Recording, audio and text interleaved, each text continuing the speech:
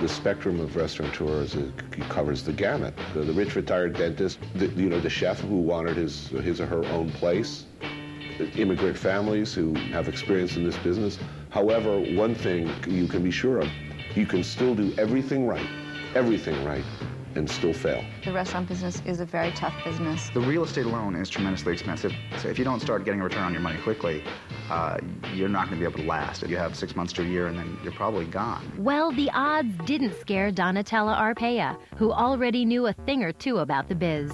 Both my parents were born in Italy, and, and, my father came here when he was 19 years old. And when he was 26, he opened up his first restaurant right in Long Island. And My crib was right near the dishwashing station. After a brief stab at a law career, Donatella decided to follow in her dad's footsteps. The eight months that I practiced, I was not happy, and I lived right above my brother's restaurant. And one night, he was he was shorthanded, and I just started hostessing, and I was like, oh my God, I'm so happy doing this and I started looking for a location the next day. A few months later, Donatella signed the lease on her first restaurant, Bellini.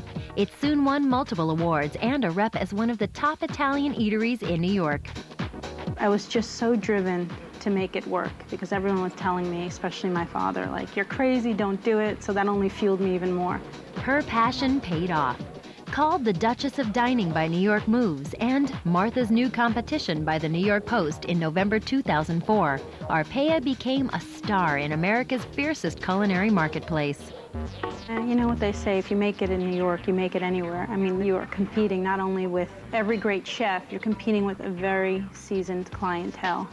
These are people that go out every night and they are very picky. Luckily, she's garnered a huge following and her success has inspired a partnership venture with celebrity chef David Burke.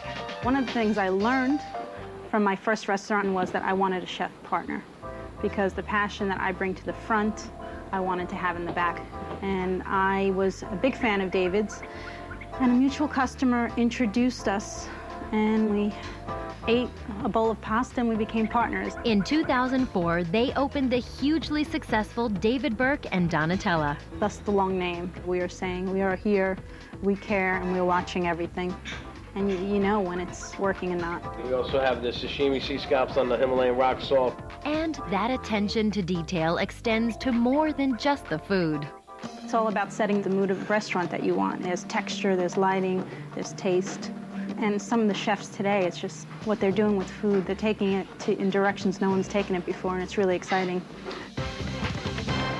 In an industry based on shifting tastes, chefs are constantly challenged to come up with novel menus.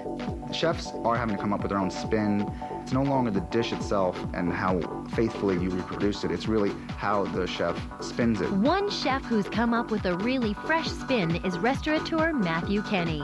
In 2004, along with chef partner Sarma Melngailis and owner Jeffrey Chodorow, he opened Pure Food and Wine, a raw vegan restaurant. This is a very specific area of cuisine, which is based upon, you know, not uh, breaking down the nutrients, and it's about not cooking food over 118 degrees